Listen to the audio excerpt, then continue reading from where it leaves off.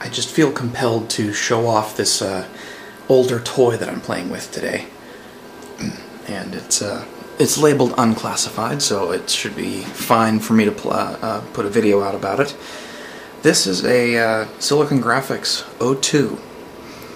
Uh, in its day, it was a very powerful workstation, and by today's standard, it's pretty slow. But the the cool thing is, it works. It's running. Uh, that external SCSI disk right there is attached to it, doing some work.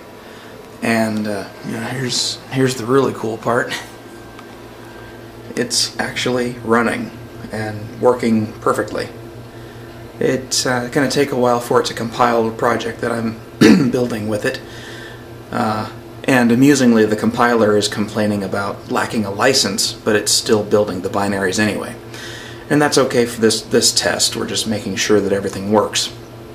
But I'm immensely amused. This is, by, just by today's standards, an ancient Unix system.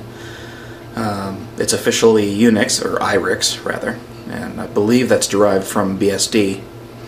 So uh, this is a, a piece of history running right now in my office. And I just thought it was pretty cool. So, meh. I have a fun old toy.